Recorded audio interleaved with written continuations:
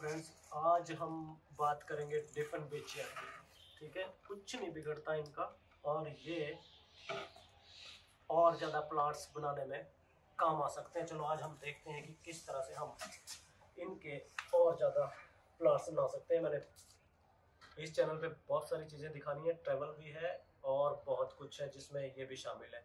तो ये तो पहले पॉइंट जो पहली बात है वो ये है कि ये थोड़ा जहरीला होता है पौधा, और इसको आपने बड़े ध्यान से कट करने में अभी कट करके दिखाऊँगा। और हाथों पे या मुँह में ये ना लगे। मैंने पहले से ये लिया है, नाइफ लिया है, और इसको मैं काटूँगा पीसीस में। ये पौधा बड़ा छोड़ लेना है हमें इसके लिए मैं थोड़ा सा ज़्यादा, लगभग चार इंच का यहाँ से मैं छोड़ रहा हूँ। और इसको कट कर देते हैं। ये एक अलग से प्लांट बन जाएगा फ्रेंड्स। तो आपको मैंने बताया भी था कि इस चैनल पर बहुत कुछ नया होने वाला ये मैंने काट दिया है। इस तरह का कुछ। तो फ्रेंड्स अब हमने क्या करना है? इनको यूज़ करना है हमने। ये जो आइज़ है ना यहाँ पर, इनको यूज़ करना है। मैं इसके पीसीस काट लेता हूँ। मैं फिर बता दूँ कि ये प्लांट थोड़ा जहरीला होता है। तो आपको थोड़ा ध्यान रखना है सेफ्टी का। कपड़ों पे लिए ना ये और इस तरह के पीस लगभग तीन इंच के करीब का ये हिस्सा मैंने लिया है। और ऐसे ही मैं इसके पीसीस कर लूँगा।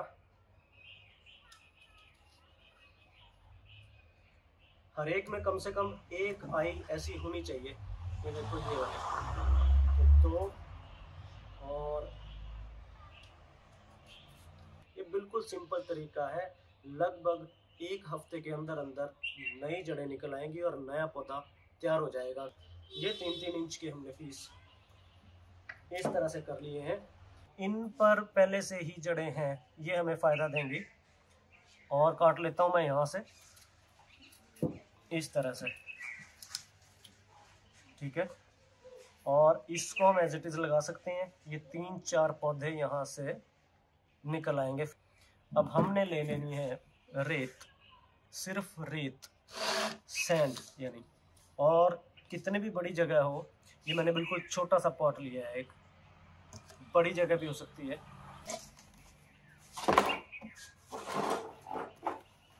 ये पूरी इतनी बड़ी जगह भी हो सकती है, थोड़ी गहरी हो जाए तो अच्छी बात है। इसको पूरा हम रेत से भर सकते हैं और इसके बाद फ्रेंड्स हमने सिर्फ़ करना है, इसको तो हमने एज इट इज़ लगा देना है किसी भी गमले में, इस तरह से। बस, और कुछ नहीं करना। ऐसे लगा के जितना ज़्यादा गहरा ये हो सके, पाँच इंच छः इंच के करीब तो ये हमने ऐसे लगा देना है कॉस्टली पौधे खरीदने की कोई ज़रूरत नहीं है। तो ये अब अलग से ही एक पौधा तैयार हो गया और जो बचे हैं पीसीस उनका क्या करना है? वो पीस हमने इस तरह से, इस तरह से करके किसी बड़े गमले में भी लगा सकते हैं और छोटे में भी लगा सकते हैं। ठीक है फ्रेंड्स तो ये इस तरह से भी लगाया जा सकता है। मैं दिखा देता हूँ कि किस तरह से हमने ये बनाए हुए हैं। मैंने ये सिंपली इस तरह से लगाए हैं। तो फ्रेंड्स ये लगभग पंद्रह दिन इनको हो चुके हैं। और मैंने इस सिंपल सी बाल्टी में सिर्फ़ रेत डाला है। और इनको मैं अभी दिखाता हूँ कि लगभग पंद्रह दिन का ये ये सबसे ऊपर वाला हिस्सा है, ये लगा दिया है। फ्रेंड्स ये है लगभग दस दिन पे ही ये चीज़। ये इस तरह से, ये इस तरह से जड़ें निकल आई हैं और ये पौधा हो गया तैयार। तो अब चिंता की कोई बात नहीं है, बिल्कुल भी। इस तरह के प्लांट्स डिफन बेचिया जो है आप घर में ही बना सकते हैं। एक से दस बीस जितना भी बड़ा पौधा होगा, ये देखिए।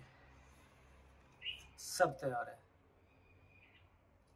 तो फ्रेंड्स और भी अगर किसी प्लांट के बारे में आप जानना चाहते हैं तो मैं बताऊँगा इसी चैनल पर। और भी चीज़ें बहुत सी होंगी ट्रैवल भी होगा, सब होगा, लेकिन चैनल को करना पड़ेगा सब्सक्राइब और बेल आइकन को दबाना पड़ेगा।